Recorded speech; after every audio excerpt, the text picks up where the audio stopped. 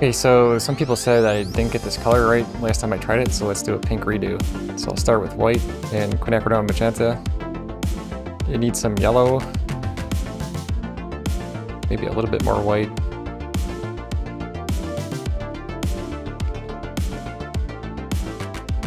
So that's quinacridone red and a little bit more white.